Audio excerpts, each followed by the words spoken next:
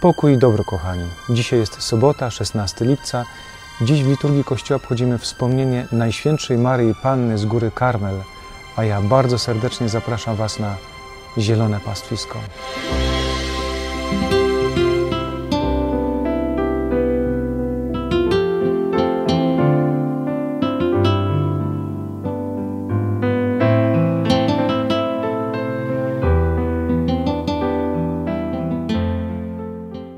Kochani, dzisiejsza Ewangelia rozpoczyna się dość dramatycznie. Mianowicie faryzeusze odbywają naradę, jak zniszczyć Pana Jezusa, jak Go zgładzić.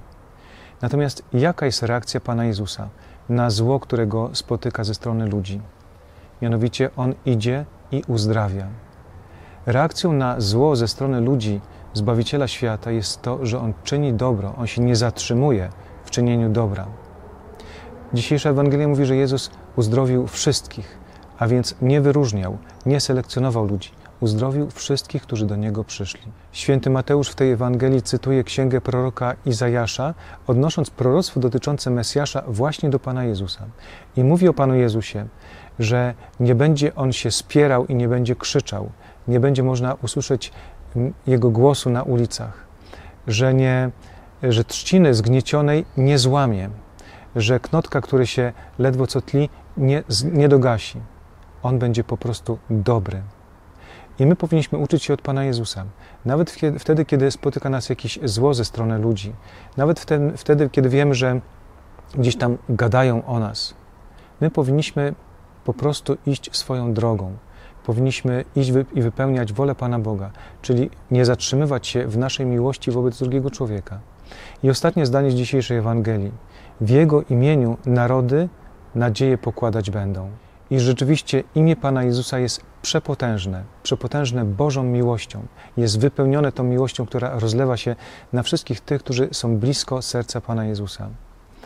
Imię Jezus w języku oryginalnym Jeszua, bądź też nieskrócona wersja Jehoszua, oznacza Bóg zbawia.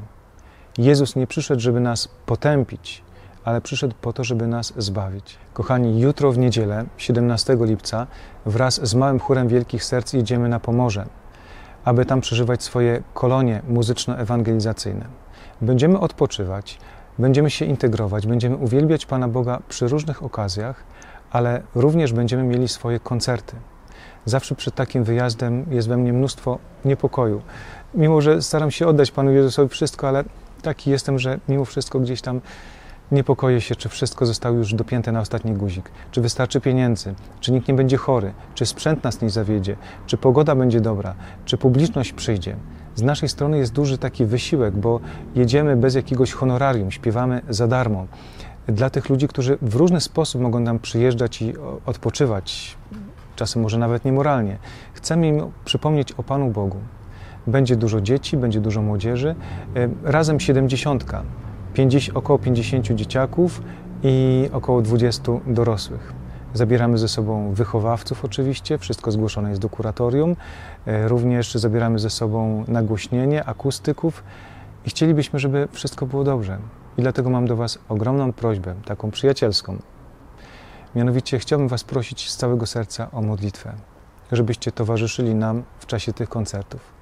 Ja tutaj za chwilkę wyświetlę tutaj te miejscowości łącznie z godzinami naszych koncertów. Może akurat będziecie w tamtych okolicach i być może spotkamy się na koncercie. Podejdźcie do mnie i powiedzcie: Ojcze, my jesteśmy z Zielonego Pastwiska, pobłogosław nam i bardzo z ogromną przyjemnością Wam pobłogosławię. Natomiast jeśli chodzi o kolejne odcinki rozważania na Zielonym Pastwisku, to wszystkie już przygotowałem i mam nadzieję, że na czas będą się wyświetlać Wam zarówno na stronie Archidiecezji Łódzkiej, jak i na stronie mojej prywatnej, czyli Piotr Kleszcz 2. Również codziennie e, planujemy robić filmy z tego wszystkiego, co będzie działo się na koloniach. Gdybyście chcieli nam towarzyszyć, to bardzo proszę. Z tym, że będzie to się ukazywało tylko na kanale Piotr Kleszcz 2. Na stronie archidiecezji będzie tylko odnośnik, ewentualnie na końcu, żeby kliknąć i sobie otworzyć i zobaczyć, co tam u nas się dzieje. Mam nadzieję, że wszystko będzie dobrze, że Pan Bóg nam pobłogosławi. Na zakończenie, kochani, przyjmijcie Boże błogosławieństwo. Pan z Wami. Niech Was błogosławi Bóg Wszechmogący, Ojciec i Syn i Duch Święty. Amen. Wszystkiego dobrego, kochani. Szczęść Boże, papa. Do jutra.